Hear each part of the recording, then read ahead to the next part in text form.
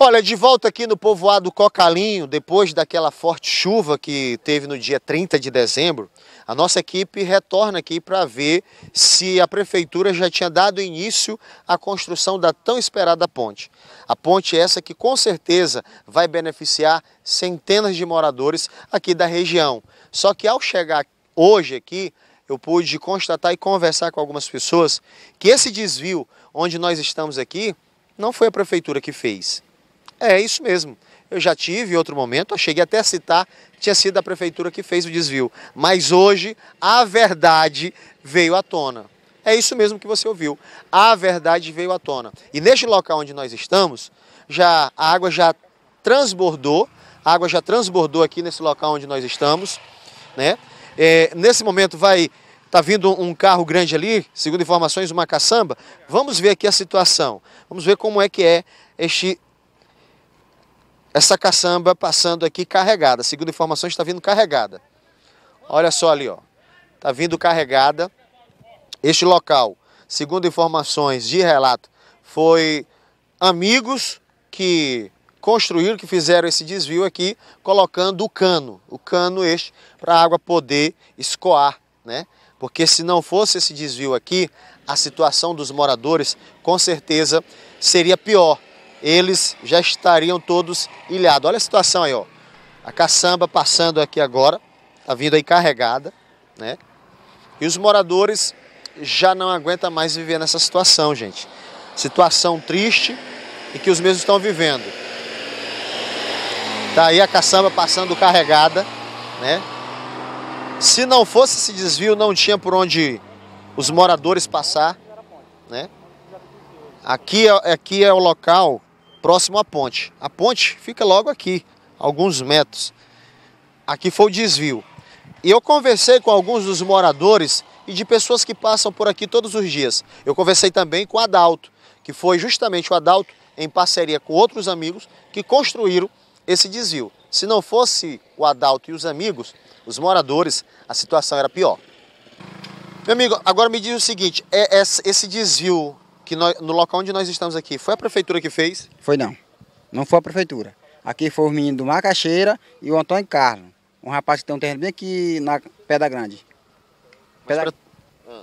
Na Pedra Grande não, aqui perto da ladeira, na descida. Ele tem um terreno ali, ele, Antônio Carlos.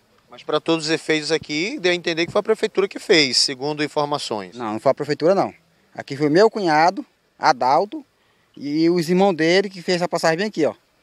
Botou cimento, tudo, pedra e botou, fez essa passagem aqui e botou um cano aqui por baixo.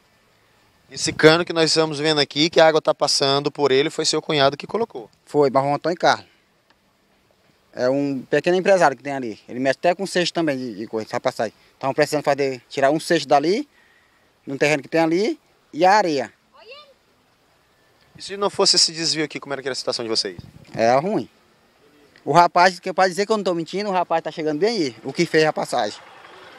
Adalto, esse desvio com esse cano, o qual a água está passando, foi a prefeitura que fez? Não, aqui quem fez aqui foi, foi eu, meus irmãos, que é o Macaxeira, e o empresário Antônio Carlos, que nós fizemos essa passagem aqui. Não tem nada com a prefeitura aqui não.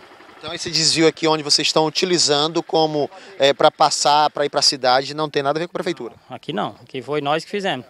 E eles, o que eles vieram foi pegar as tábuas da ponte aqui e levaram. E, não, e até agora, tá aí o garapé escorrendo. Se não fosse nós ter feito essa passagem aqui, não tinha, não tinha como passar agora, né? Então, se vocês não tivessem se juntado para fazer essa passagem aqui, vocês estariam ilhados. Exatamente, nós estaríamos ilhados, não tinha como passar. Como é que fica a situação de vocês agora com a chegada do inverno? A gente sabe que a, a força da natureza pode levar esse serviço que vocês fizeram. Sem a ponte, como é que vai ficar? Vai ficar difícil, né? Quando, quando o garapé enche, a gente não tem como passar. Esperar ele, ele baixar para a gente ficar passando nessa passagem aqui, que foi nós que fizemos, né? Não foi prefeitura, não. Aí eles vieram, fizeram a estrada, disseram, falaram que fizeram a estrada. Inclusive tem um buraco bem aqui, eles não tamparam, aqui no Garapé também.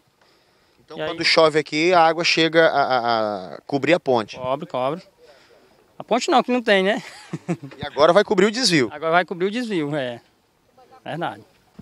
Minha senhora, é verdade que aqui a caçamba já atolou aqui com essas pequenas chuvas que começou a cair aqui na região?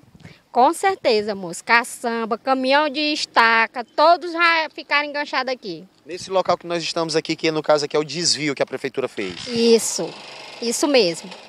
E como é que fica a situação de vocês, moradores aqui da região? Nós ficamos ilhados. Se o prefeito não tomar atitude para vir fazer a, ponte, nós vamos ficar ilhados. O prefeito podia botar a mão na consciência e vir. Na hora de vir pedir voto, ele não sabe vir. Na aposta de um e outro. E por que, que ele não cumpre o que ele promete? Só isso que eu tenho que falar para ele. Tá chegando nas políticas de novo. Quando ele chegar na porta, aí ele vai ouvir poucas e boas, ele não vai gostar. Você, como cidadã, está exigindo algo que é direito seu. Com certeza, moço. Estou exigindo coisa que, que é algo meu de toda é, comunidade, que todas que, que moram pro lado aqui, se chegar chover e ele não fazer a ponte, todo mundo vai ficar ilhado. Aqui nessa região são, quantos, são quantas localidades povoadas? Eu não sei dizer quantas. Três é? É. Aí eu não posso lhe dizer quantos é, né? Mas é um bocado. Que a senhora mora aqui para cá também? Qual povoado a senhora mora? Moro no povoado Santa Cantídia. Tem que usar essa passagem aqui todos os dias para ir para a cidade? Todos os dias. Aí se ele não fizer a ponte, ou usa a canoa do lado de lá, ou usa os pés para atravessar nadando. Mas para atravessar nadando aqui vai ser complicado, né? Com certeza, porque ninguém vai atravessar com moto nas costas para vir para a cidade. E os produtores rurais que produzem lá seus alimentos, a mandioca, a farinha, o arroz, o feijão, como é que vão fazer para trazer para a cidade para vender? Aí só Deus sabe.